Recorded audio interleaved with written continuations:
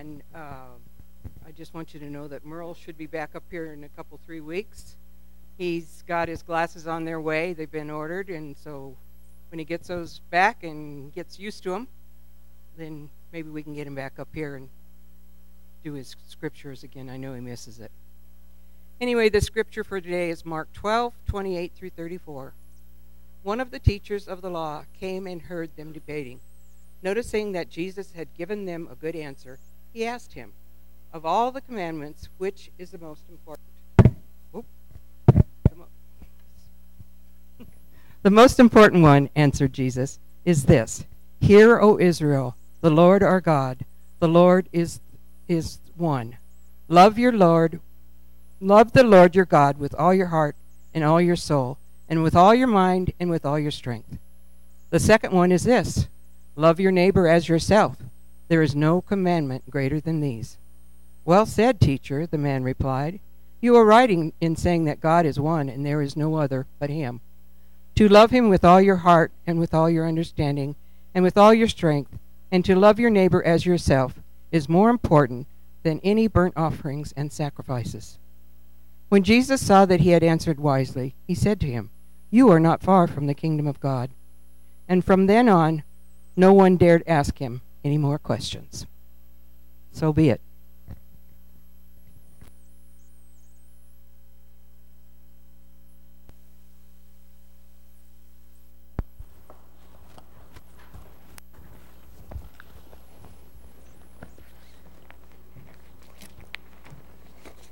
If you noticed in your bulletins, I put a little image in there that I found that said, Life in the Kingdom what are you seeking first? And that song that Jacob and Sherry did last, that's one of my favorite songs because I just think about, you know, what really does matter to you. If everything else was stripped away, would you trust in God? But even more, would you love the Lord your God with all your heart, all your mind, all your soul, and all your strength? If you don't understand that, then you don't understand what Jesus was teaching. You don't understand how much God loves you that He would come that He would come in human form, that He would send His only Son to die for your sins. If you didn't see the movie Friday night, boy, it made me think about that. It was a little violent and stuff. But when your world is turned upside down and everything that you were, had your security tied up into and your loved ones were gone, would you still trust in Him?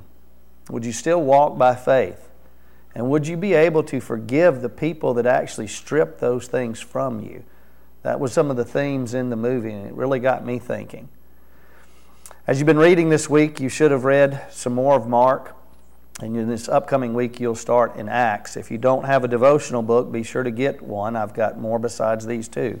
So be sure you're reading your devotion along besides your Bible reading and spend time in prayer and studying so that you can come to know just how much God loves you for what Jesus Christ did for you. And we're going to get into some of that scripture today that we covered this week.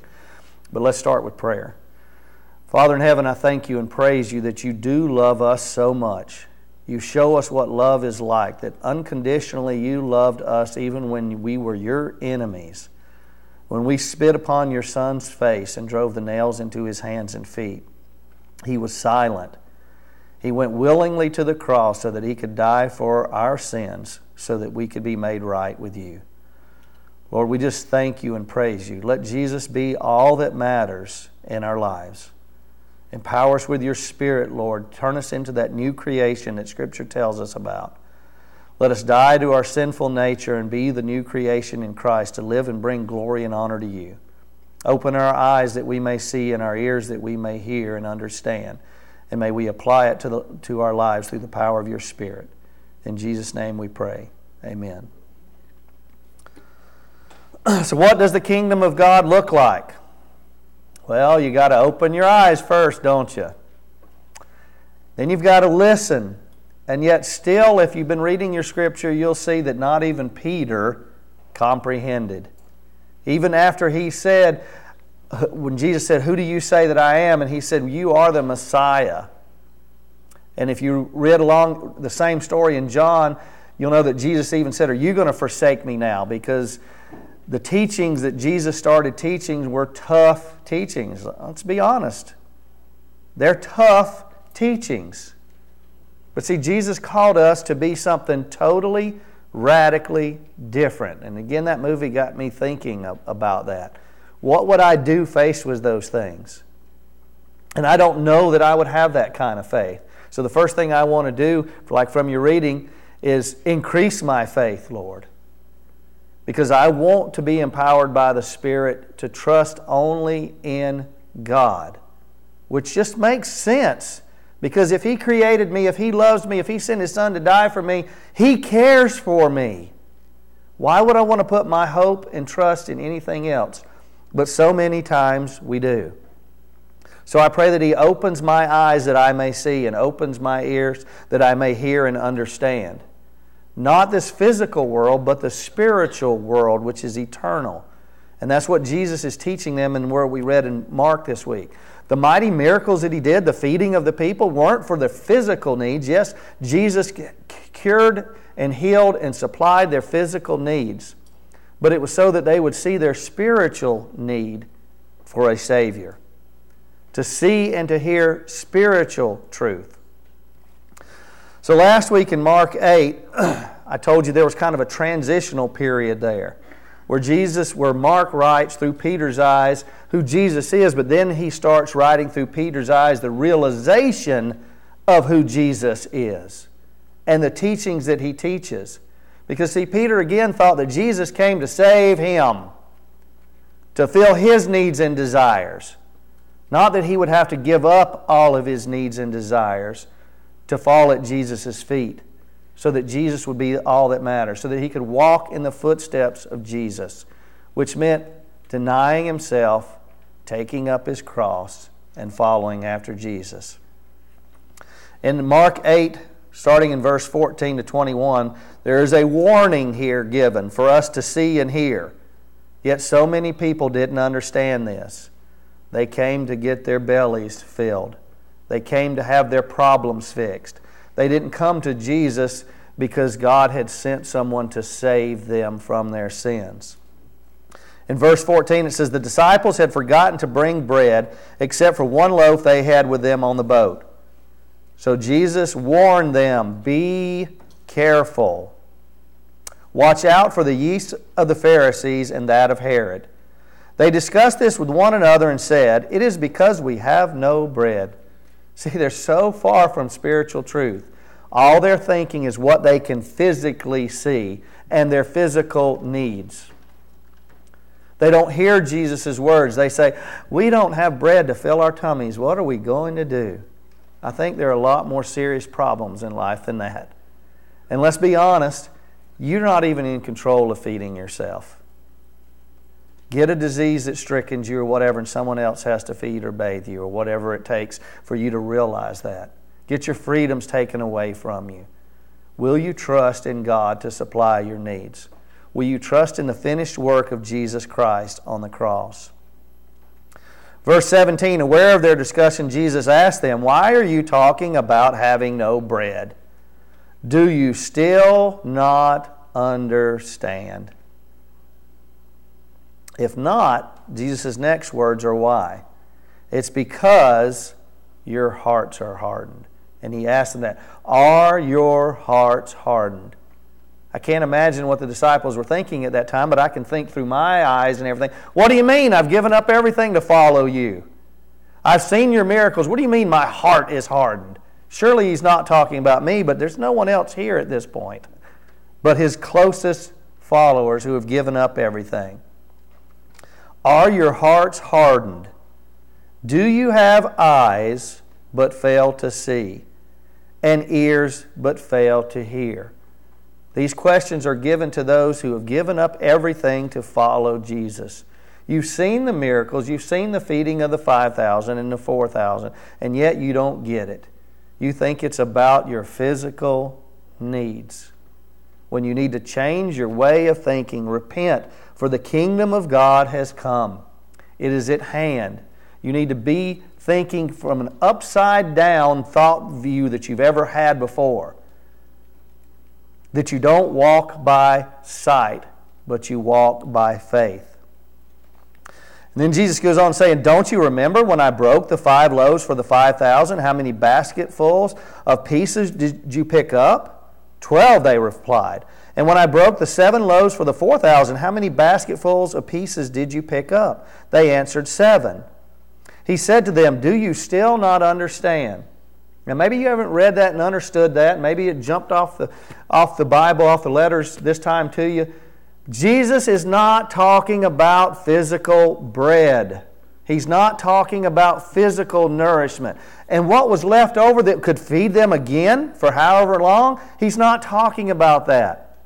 He's talking about when you rely on Him for your spiritual bread, you will have tons left over.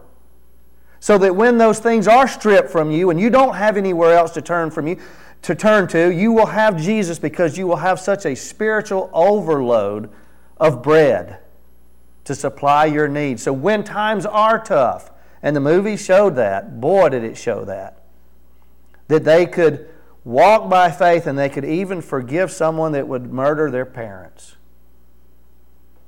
Could you do that? If you're feeding on spiritual bread, yes, you can. I can do all things through Christ who gives me strength. You can walk whatever this earth has to give to you, whatever it dishes out, because the things in this world mean nothing compared to eternity. And when Jesus died on the cross, He paved your way to eternity if you will just believe in Him. In Mark chapter 1, Mark recorded about Jesus Jesus' public ministry. When the Spirit came upon him and God said, This is my Son in whom I'm well pleased, the very next thing that happened is the Spirit led him into the wilderness to be tempted so that he could face every temptation that you would ever face. He faced it personally with the devil. He just didn't have one sitting here on his shoulder saying, Do this. You know, like you see in the cartoons and stuff, and the little angel over here. He was tempted by Satan. He was in a state of need and want when Satan came to him. Need for physical nourishment, physical bread. And Satan came to him. Now, we don't have this in, in Mark, but we can go to Matthew and see it. In Matthew chapter 4, verse 1, it says, Then Jesus was led by the Spirit in the wilderness to be tempted by the devil. After fasting 40 days and 40 nights, he was hungry. That's an understatement. The tempter came to him and said, If you are the Son of God, prove this to me. Tell these stones to become bread. Satan again was talking about the physical, but Jesus himself relied on the power of the Spirit, the power of God living through him. And Jesus' answer was this It is written, Man shall not live on bread alone, but on every word that comes from the mouth of God. So now it brings me full circle back around. Are you reading the Word of God? Are you spending time in prayer, seeking God's will? Are you looking to your own will and desires? Or are you looking to His will and His desires? Do you want your kingdom come or His kingdom come? Jesus is getting very clear. His teachings are getting very hard. If you want to be my disciple, it means giving up everything you thought you knew. It means pain and suffering. It means ridicule. But it also means eternal rewards in heaven. That no one can take that away from you if you'll follow in Jesus' footsteps. The first thing the devil used against Jesus was his physical need for physical bread. And see, sometimes that's all Satan has to do with us to get us caught, to get us in a snare that holds us and traps us. What about this? What about that? How am I going to feed myself? I'll do this for you, Lord, once I get my bills paid, once my kids are through school, whatever it is. I'll serve you then, I promise. But as I told you before, Mark says that we're supposed to respond immediately to the gospel. We're not supposed to worry about these physical things which we can't control in the first place. Won't God take care of your physical needs if He would send His Son to die for your spiritual needs? I mean, there's no comparison. Jesus' answer let Satan know that he was looking at the spiritual, not the physical. Jesus even said in Scripture that the Son of Man had no place to lay his head when he's telling his disciples, Do you really want to follow me? He put his faith and trust in God alone. You think Jesus was trying to tell us something then when we apply that verse to when he fed the 5,000 and the 4,000 and there was leftover bread? Is he trying to tell us that if we rely on spiritual bread, that we will have an abundance? I think that's what he's trying to tell us. I think that's what he's trying to tell the disciples here. And even Peter didn't get it at this point. In John, we can learn a little bit more about that feeding of the 5,000. In John 6, verse 26, after Jesus fed the 5,000, he said, Very truly I tell you, you are looking for me, not because you saw the signs that I performed, but because you ate the loaves and had your fill. These miracles were done so that you would see that He is the Son of God, that He can forgive sins. Remember when He told the man to take up his mat and walk? He said, What is harder, to say that I forgive sins or to say, Take up your mat and walk? Well, let me show you that I can forgive sins. Take up your mat and walk. He showed them with the physical healings again that he could heal spiritually, that he had the power to give eternal life to those that believed in him. Verse 27 says, Do not work for food that spoils, for physical things, but for food that endures, endures to eternal life, which the Son of Man will give you. For on him God the Father has placed his seal of approval. So if you don't believe the miracles and everything else, believe the audible voice that came from heaven that said, This is my Son in whom I'm well pleased, which we have several times in Scripture. So that people actually heard God's voice. But it's funny that, you know, and not funny, but it's funny. In John 12, when some people thought it was thunder, because we want to explain it that way. I don't know how you could take, this is my son, and say that sounded like thunder, but I guess if you don't want to hear it, you'd think anything. You know, do you remember when you laid on the grass in the summertime and looked at the clouds and saw all these things, how you saw that? You said you couldn't see it. I was lying. I just didn't see what you saw. See, there's the difference because we want to see through our own perspective again. Thank you for that sermon illustration. We want to see what we see because we want our needs met. We don't want to suffer. Who would? Jesus. He suffered and died for you and I. Wow. What man, what greater thing, love, than a man has than to lay down his life for his friends? That's exactly what Jesus did and exactly what Jesus calls us to do. So, in the end of Mark 8, we get these words recorded from Mark, and I want to say them again. I said them last week, and I'll say them again and again as I preach. Verse 34 Then he called the crowd to him along with his disciples and said, This is to all of those who want to know about Jesus at all. Whoever wants to be my disciple must deny himself, take up his cross, and follow me. It's not a should or a would or could, it's a must. You must be willing to give up everything for Jesus. Like the song says, when nothing else matters, that's when you're in that holy place. When you just want to sit at Jesus' feet and worship, then you're understanding who Jesus is and what he came to do, what he taught. Verse 35 For whoever wants to save their life, they will lose it. But whoever loses their life for me and for the gospel will save it. What good does it do someone to gain the whole world, all the physical things, but forfeit their soul, the spiritual things? Or what can anyone give in exchange for their soul? No one can obtain heaven, none are righteous, no, not one. That's why God loved us so much that He sent His Son to do what we cannot do. And even when we don't have faith, as the man says, which we'll get to, he says, increase my faith. If anyone is ashamed of me and my words in this adulterous and sinful generation, the Son of Man will be ashamed of them when he comes with his Father's glory and the holy angels.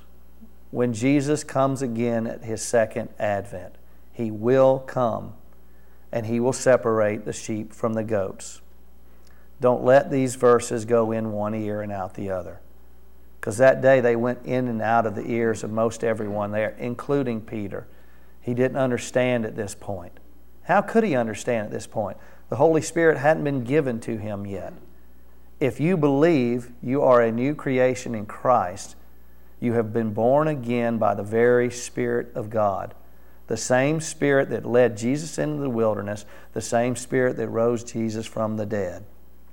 You are called to be the hands and feet of Christ, to do greater things than He did, to be tied together spiritually by the Spirit to do the works of Christ in his body called the church. So, what did Mark write about next? Well, in chapter 9, when we start our reading this week, we see the transformation of Jesus. You see again that Peter has no idea what's going on, why it's going on, what to say about it. But think about what he saw. I can't even imagine. But he got a glimpse of what his future hope looked like. Jesus in his glory, which, if he believed in the resurrection of the dead, if that's where your hope is, then he saw a glimpse of his eternal future transformed into this glorious creation. He saw Moses and Elijah, so he saw real men that existed, and he saw them in this condition. I don't know, I can't comprehend what he thought. He didn't know what he thought. But he got to see this glimpse that should forever change his thought, change his way of life. And still he had no idea what to say. And I'm not here to slam Peter. It's refreshing to know that Peter had walked with God for God incarnate, Jesus, for two years, and he still didn't have any comprehension. At least that gives me some hope some days, right? That's why it's refreshing to me because I realize that I fight that spiritual battle. And Peter, even walking with Jesus, I see his struggles fighting this spiritual battle. One of the biggest purposes that Peter, James, and John got to see this is they got to see the hope of our resurrection also. Something that Jesus promised he could do by the miracles that he did that he had the power to forgive sins and offer eternal life. So in Mark 9, if you keep reading, in verse 9, as they were coming down from the mountain, Jesus gave them orders not to tell anyone what they had done until the Son of Man had risen from the dead. So you see this continued theme about not telling who Jesus is because they're still not going to get it fully until they see the resurrected Jesus. Verse 10 They kept the matter to themselves, discussing what rising from the dead meant. What a glorious sight they had seen, but they didn't have the comprehension to understand it. So they come down off this mountaintop high. Have you ever been there before? To a valley low, right? Because what do they find as soon as they get down? Well, all we got to do is keep reading. Verse 14 When they came down to the other disciples, they saw a large crowd around them and the teachers of the law arguing with them. Now, just think about that statement right there. The other disciples, the ones that were on equal ground with them, but maybe they thought they were a little better than them because they got to see the transformation. They didn't. But still, this is one, these are the 12. And there's also the other disciples, the others who are following after Jesus, not just the 12 a large crowd who's trying to figure out who Jesus is, and then those who say they're religious, but yet are so far from Jesus they have no understanding of what the Scripture really means. And they're arguing with one another. There's discord, lack of unity, not being able to focus on the mission that they've been called to do because they're concerned with physical things. They're concerned with having their tummies full. Verse 15 As soon as all the people saw Jesus, they were overwhelmed with wonder and ran to greet him. What are you arguing with them about? Jesus asked. A man in the crowd said, Teacher, I brought you my son who is possessed by a spirit that has robbed him of speech. Whenever it seizes him, it throws him to the ground. He foams at the mouth, gnashes his teeth, and becomes rigid. I asked your disciples to drive out the spirit, but they could not. You unbelieving generation, is Jesus' answer. Now, who's that answer to again? That's why I told you in the beginning. To the other disciples, the other nine, the other 70, 100, 500 that were there that said they would follow Jesus, whatever the number was to the crowds that were wondering, to the people who said they were religious, but their words were void of any meaning, right? And to a man who came in faith to the, let's call that the church then. Ooh, how do you like when I turn it that way? A man that came in faith, wondering who Jesus was, hearing of the mighty miracles he, that he did, bringing his son, who was in such a physical condition here that all of us are sitting here saying, Wow, that child is suffering. And I don't like my children suffering. And this man brought his son to the church in faith, and the church couldn't do anything because they were arguing with one another and had no faith to heal him.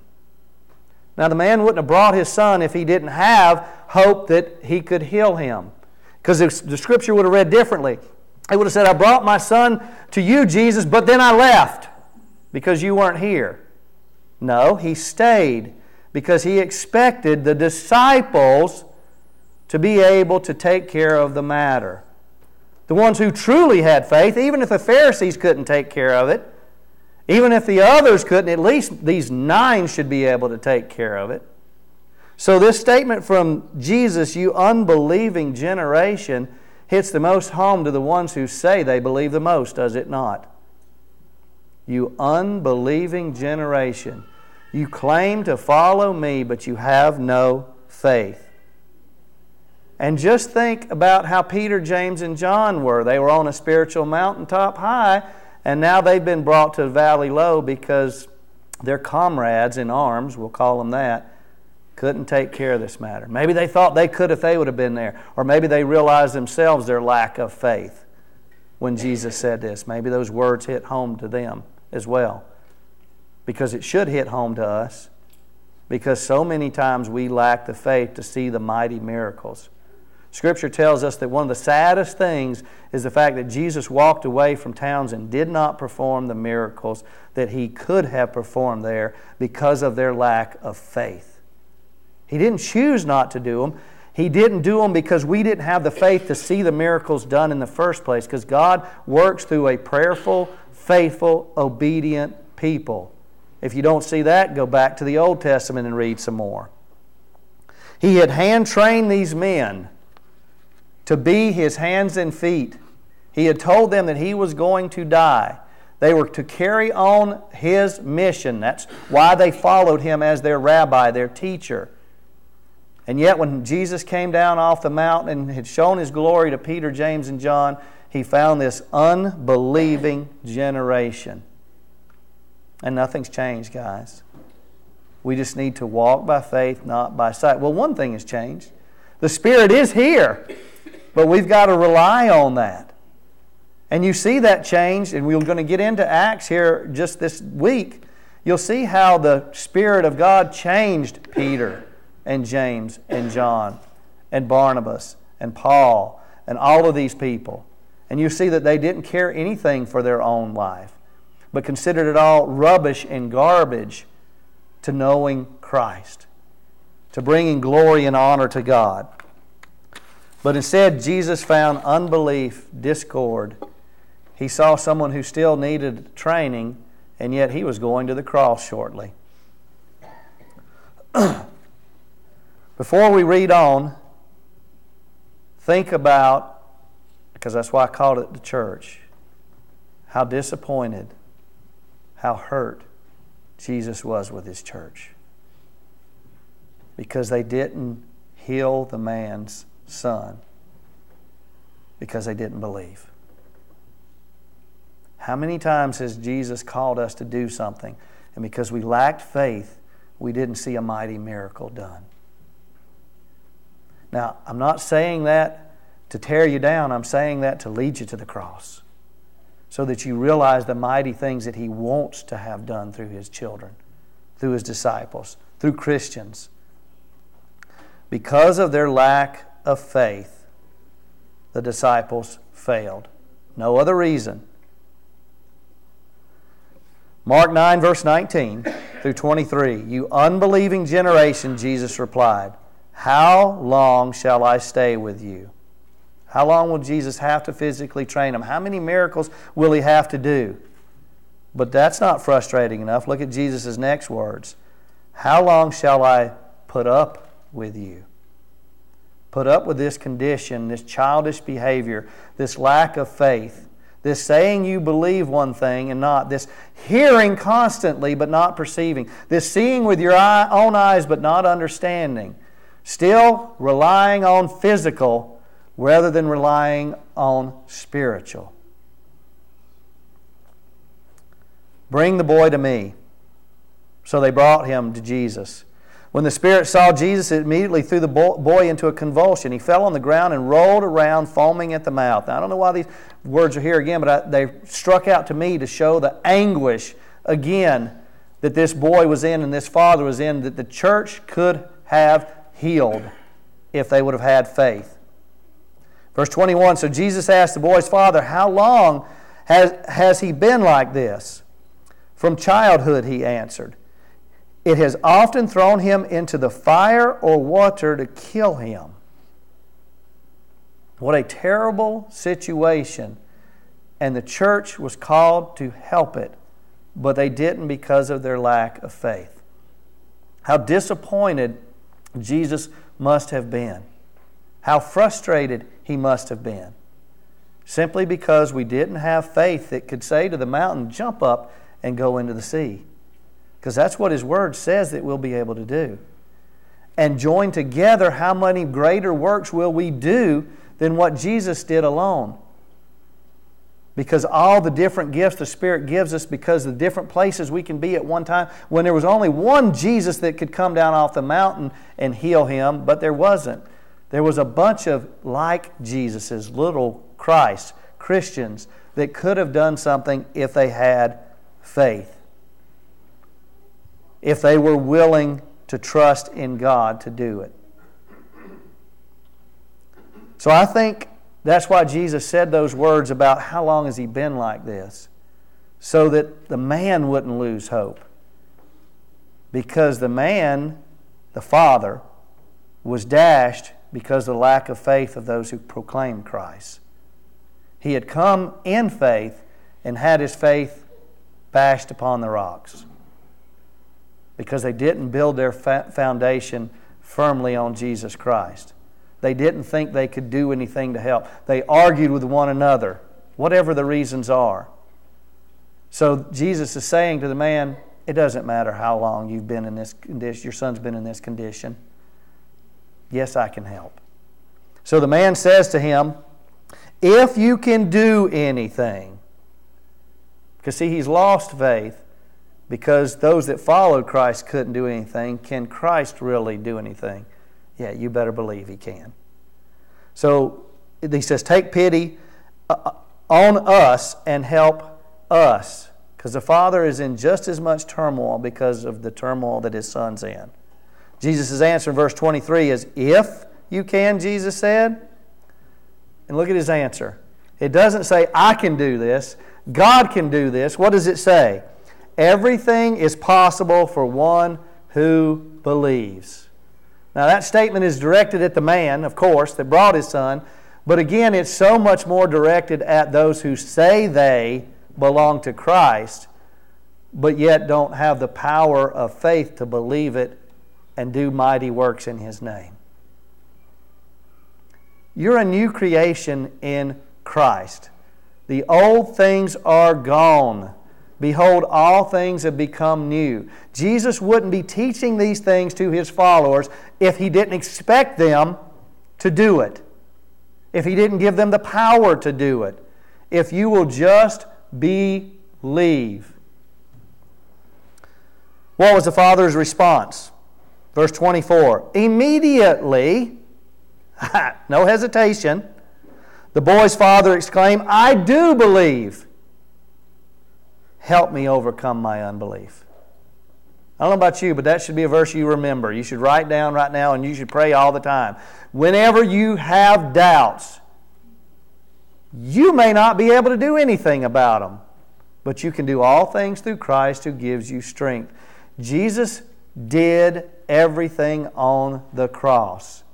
He brought you to saving faith. He'll walk you all the way through this life. He'll sanctify you and make you holy for all eternity. Just believe. Mark goes on to record, Jesus then tells them the second time about his death so that they'll understand the spiritual behind it, not just the physical. But yet they still argued about who was going to be the greatest.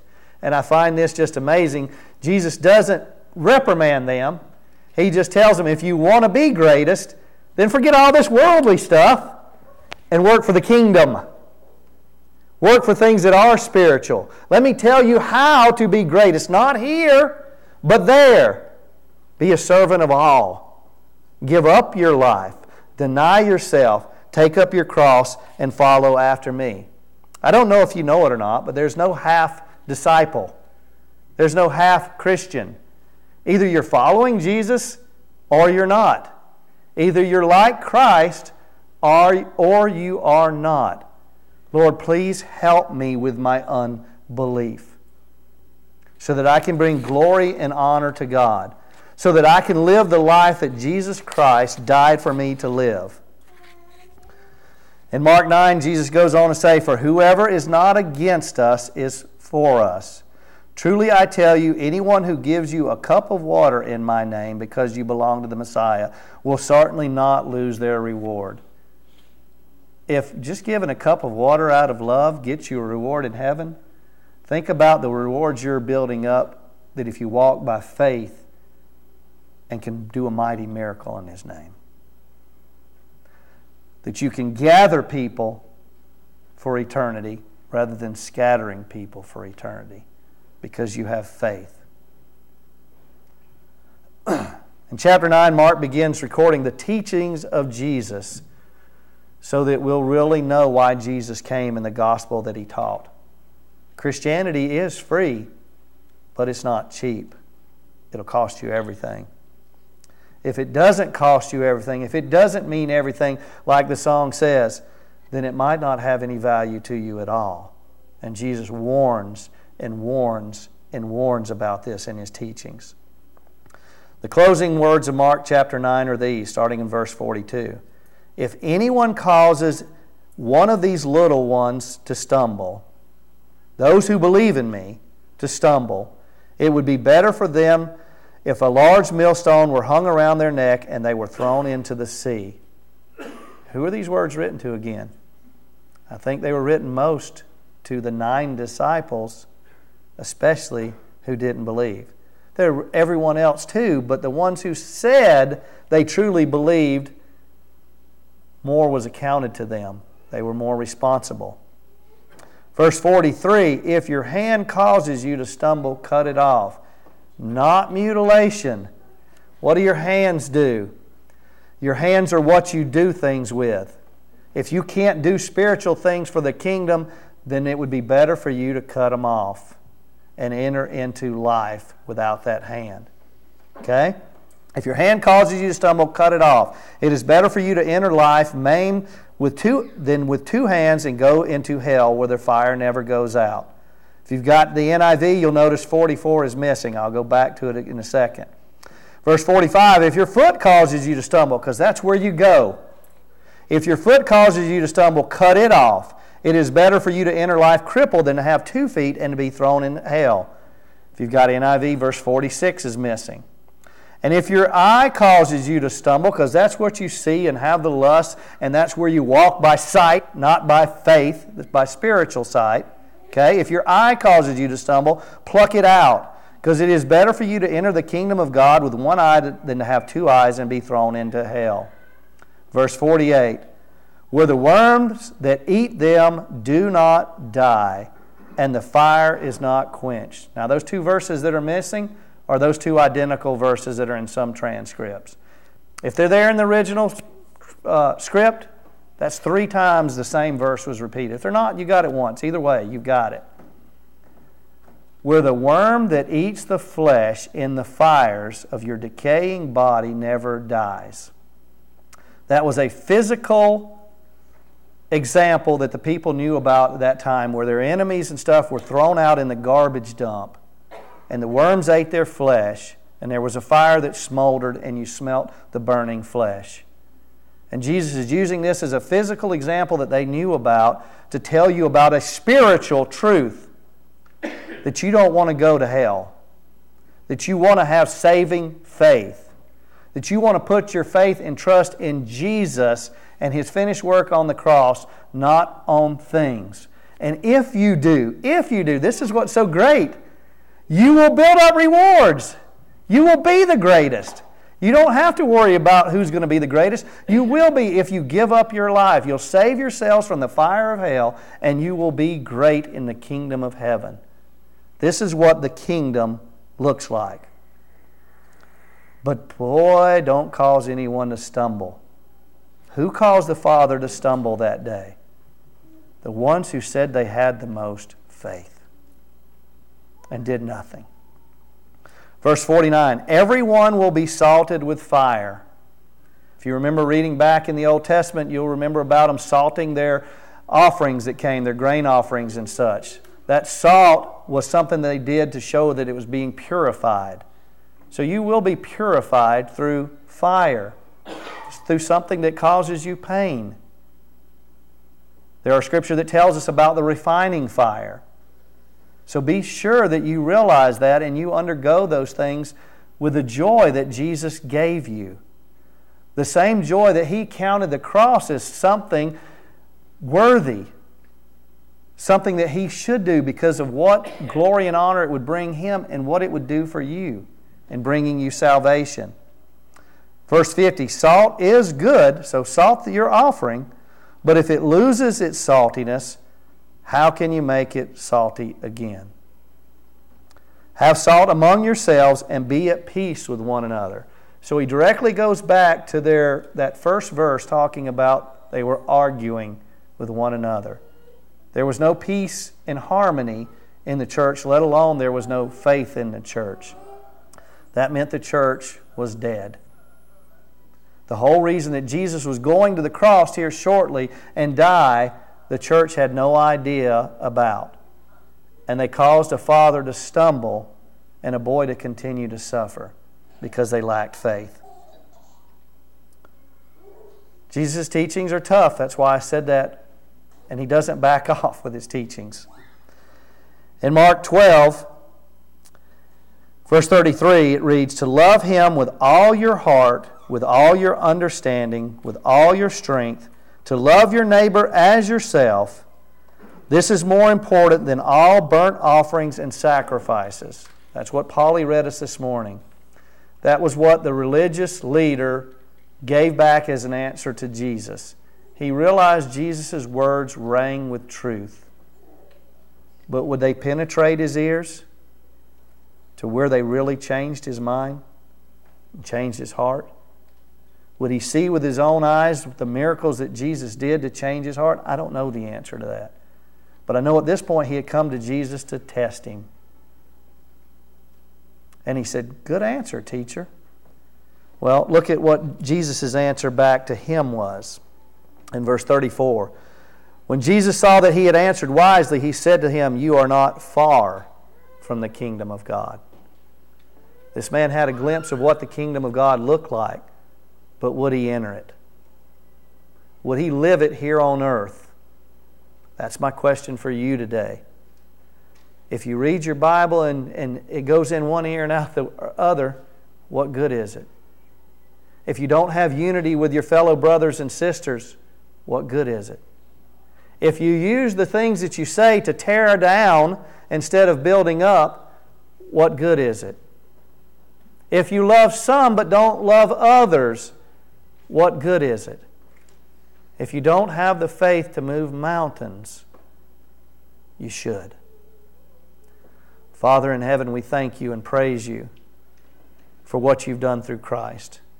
We praise you for his teachings. May we comprehend them and apply them to our lives and live for spiritual truths rather than just worrying about our physical.